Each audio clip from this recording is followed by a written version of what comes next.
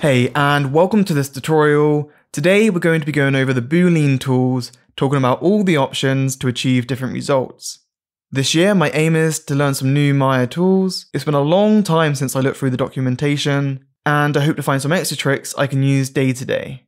Be sure to join the Discord server to chat with a great community of fellow modelers, and be sure to check out my Gumroad 2 for access to the members only chat and a whole bunch of assets and tools. Right, so without further ado, let's begin. We can get to the Boolean tools by heading to Mesh, Booleans, and you can see we have union, difference, and intersection. Let's start with the union operation. Just click the little menu box at the end to open up the menu. Up top, I would never really use the legacy algorithm, as that's been legacy since Maya 2014. So if I just go ahead and draw out a couple of spheres, we can just select them both and hit apply.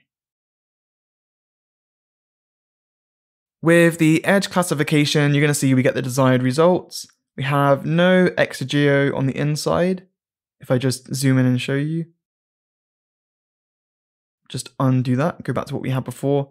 And now let's do that, but this time select a normal and just hit apply. And we also get the desired effect. However, when working with open meshes, such as like planes or meshes with holes in them, that's when we're going to start to see a difference between these modes. So I'll just go ahead and draw out a plane.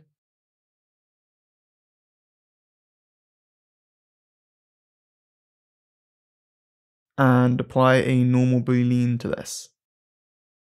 So you can see we get this effect.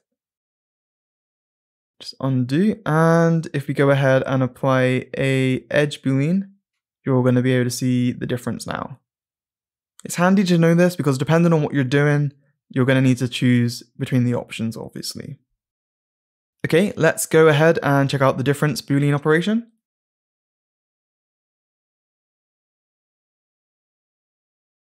I'm just going to duplicate some of these spheres around so the second object we select is going to get subtracted from the first mesh. Note that you can actually extract multiple meshes from your first selected mesh in one difference operation. Select the plane, which is our first mesh, and then we just want to select the rest of the spheres, which are going to be our subsequent meshes to subtract. We will just do a edge classification first, and we're going to go ahead and get this result, which might be helpful. Just undo that. Now let's go ahead and apply uh, the normal classification. And now you can see it cuts the whole shape out, leaving, well, a hole. Finally, there's intersection. Let's just go back to having one sphere.